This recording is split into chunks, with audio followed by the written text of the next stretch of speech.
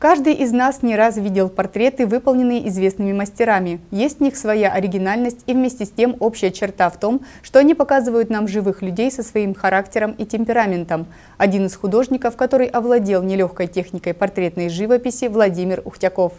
С творчеством этого своеобразного художника я, как и многие жители нашего муниципалитета, знаком уже более 20 лет. Его путь к профессиональному становлению не был усыпан розами. Все ему давалось большим, постоянным трудом. Его жизнь такая же, как у тысяч других кубанцев, и вместе с тем необычная – Служил в армии, получал специальное образование, работал художником-оформителем, преподавал и все время упорно совершенствовался, шел к одному ему известным творческим целям – в начале 2000-х вместе с семьей он уехал в Прагу, желая показать себя там как художника и, конечно, заработать. Владимир совсем не потерялся в европейской столице, смог проявить себя там в творчестве. Планировал пробыть недолго, а получилось так, что прожил целых два десятилетия – вернулся в родной Славянск на Кубани с тем, чтобы оказать помощь своей маме.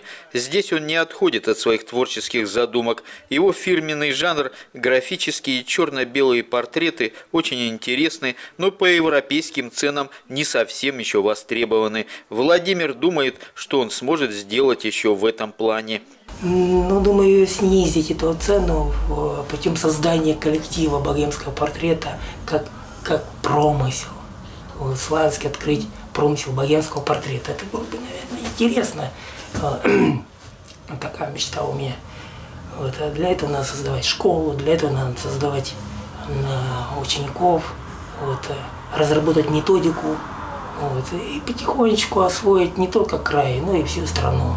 Его желание поделиться своим мастерством и накопленным опытом с молодыми художниками понятно и заслуживает одобрения. Самое главное, мне приятно презентовать эти угольные работы. Вот. Э,